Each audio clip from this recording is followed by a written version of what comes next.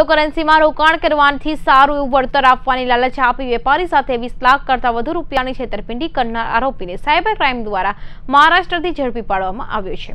પોલીસે આરોપીએ છેતરપિંડી કરેલીને સો ટકા રકમ બેંક એકાઉન્ટમાં ફ્રીજ કરાવી છે. ક્રિપ્ટોકરન્સીમાં રોકાણ કરવાની લાલચમાં અડાજણ વેપારીએ વીસ લાખ રૂપિયા ગુમાવ્યા હતા. વેપારી અહમદ રઝા મોહમ્મદ યાસીન એટલે હયા સ્ટુડિયો નામથી કાપડ લે વેચનો ધંધો કરે છે. વેપારી અઢાર જૂનના રોજ ટેલિગ્રામ ક્રિપ્ટો બીઝ એક્સચેન્જ નામના ગ્રુપમાં જોઈન થયો હતો. ત્યારબાદ તેને ગ્રુપમાં આવેલી જાહેરાત નંબર પણ વેપારીએ ફોન કરતા તે સસ્તા ભાવે ક્રિપ્ટો મેળવવાની લાલચ વેપારીએ આપી ગયો હતો. તેથી વેપારીએ ક્રિપ્ટોકરન્સી લેવા આપી વેપારીના ટુકડે ટુકડા કરી ઓગણત્રીસ પોઈન્ટ પચાસ લાખ ટ્રાન્સફર કર્યા હતા. વેપારી સાથે તેના ભાઈએ તેના બેંક એકાઉન્ટમાંથી એકવીસ જૂન બે હજાર એકવીસના રોજ આ રકમ ટ્રાન્સફર કરી હતી. ત્યારબાદ વેપારીને વોલેટમાં નવ પોઈન્ટ પચાસ લાખના યુએસડી કોઈન જમા કર્યા હતા જોકે બાકીના વીસ લાખ કોઈન જમા થયા ન હતા તેથી વેપારીએ ફરી કંપનીને ફોન કરતા કોઈ વેપારીએ ફોન ઉચક્યો ન હતો અને ત્યારબાદ પોતે છેતરાયો હોવાનો થતાં તે આ બાબતે સાયબર ક્રાઇમને ફરિયાદ નોંધાવી હતી. વેપારીએ નોંધાવેલી ફરિયાદ બાદ સુરત સાયબર ક્રાઇમની ટીમ દ્વારા સમગ્ર મામલે તપાસ શરૂ કરવામાં આવી હતી. ટેકનિકલ સર્વેલન્સ આધારે સાયબર ક્રાઇમ આરોપી અહેમદ ગુલાલ દલેને ઝડપી પાડ્યો છે. સાયબર ક્રાઇમ દ્વારા આરોપીને મુંબઈથી પકડવામાં આવ્યો છે અને તેની પાસેથી એક મોબાઈલ જપ્ત કરવામાં આવ્યો છે. ઉપરાંત અલગ અલગ ચાર બેંક એકાઉન્ટમાં રહેલા સાહીઠ લાખ તોતેર હજાર રૂપિયાની પોલીસે ફ્રીઝ કરાવ્યા છે. આ ઉપરાંત પોલીસે રાહુલ રાઠોડ અને ઓમકાર નામના બે આરોપીને વોન્ટેડ જાહેર કર્યા છે. પોલીસે પૂછપરછમાં સામે આવ્યું હતું કે આરોપી ક્રિપ્ટોકરન્સીમાં ઇન્વેસ્ટમેન્ટ કરાવી વળતર સારું મળશે તેવી લાલચ આપીને લોકો પાસેથી ઇન્વેસ્ટમેન્ટ કરાવતા હતા. મહત્વની વાત એ છે કે આરોપીએ જે પણ રકમની છેતરપિંડી કરી હતી, તેમાં પોલીસે સો ટકા રકમ આરોપીને એકાઉન્ટમાં ફ્રીજ કરાવી હતી અને આરોપીને મહારાષ્ટ્રથી પકડી પાડ્યો છે.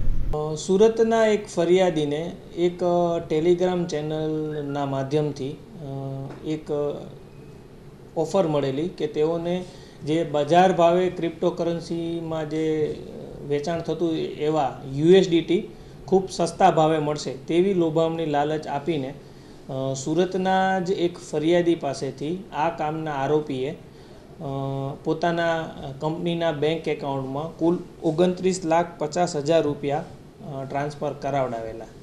જે અનુસંધાને સુરતના ફરિયાદીને નવ લાખ પચાસ હજાર રૂપિયાના આશરે આઠ હજાર ચારસો નવ્વાણું યુએસડીટી આપવામાં આવેલા. જ્યારે અન્ય વીસ લાખ રૂપિયાના યુએસડીટી ન આપીને તેની સાથે છેતરપિંડી થયેલ. જે અનુસંધાને આ ફરિયાદીએ સુરત સિટી સાયબર ક્રાઇમ સેલનો સંપર્ક કરતા Surat city cyber crime police સ્ટેશનમાં આઈપીસીની કલમ ચારસો વીસ, એકસો વીસ બી તથા આઈટી એક્ટની કલમ છાસઠ ડી અનુસંધાને ગુનો દાખલ કરીને આગળની તપાસ સુરત સિટી સાયબર ક્રાઇમ સેલે હાથ ધરેલી.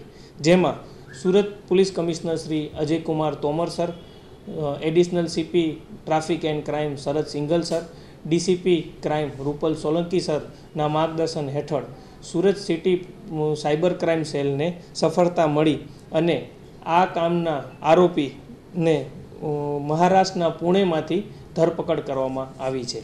આ આરોપીની વિગત છે, જેનું નામ છે અહેમદ ગુલામ મોહમ્મદ દલ.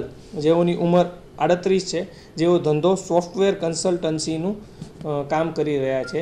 જેઓ હાલ રહેવાસી પુણે, મહારાષ્ટ્રના છે અને તેઓ મૂળ ભાવનગર, વડવા વિસ્તારના છે. આ ગુનામાં સુરતના ફરિયાદી પાસે વીસ લાખ રૂપિયાનું ફ્રોડ થયેલું.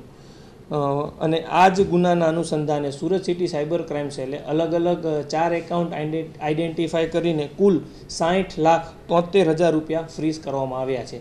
એટલે કે સુરતના ફરિયાદીની તો હંડ્રેડ પર્સન્ટ એમાઉન્ટ રિફંડ થઈ જશે, આ જે એમાઉન્ટ ફ્રીઝ થયું છે. પરંતુ તે સિવાય પણ કુલ ત્રણ ગણી રકમ સુરત સિટી સાયબર ક્રાઇમ સેલને અલગ અલગ એકાઉન્ટમાં ફ્રીઝ કરીને સફળતા મળી છે.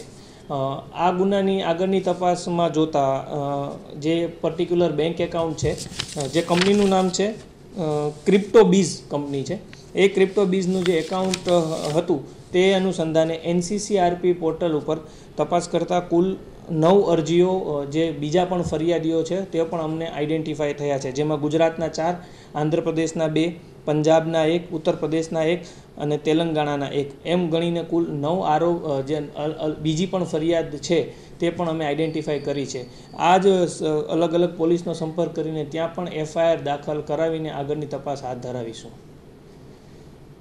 આ જ ગુનામાં આરોપીનું જે ઇન્ટ્રોગેશન કર્યું, તેમાં એ પણ જાણવામાં આવ્યું છે કે જે આ ક્રિપ્ટોબીઝ કંપની છે, તે શરૂઆતમાં સસ્તા યુએસડીટી આપવાની લાલચ આપીને જે સુરતના ફરિયાદીની સાથે જે ફ્રોડ થયેલું. પરંતુ હવે આરોપીના નિવેદન અનુસંધાને તેવું પણ જાણવામાં મળ્યું છે કે આ ક્રિપ્ટોબીઝ કંપનીએ હવે પોતાનું એક એક્સચેન્જ પણ બનાવ્યું છે, જે એક્સચેન્જમાં અલગ અલગ ક્રિપ્ટોકરન્સીના ટ્રેડિંગ પણ થાય છે.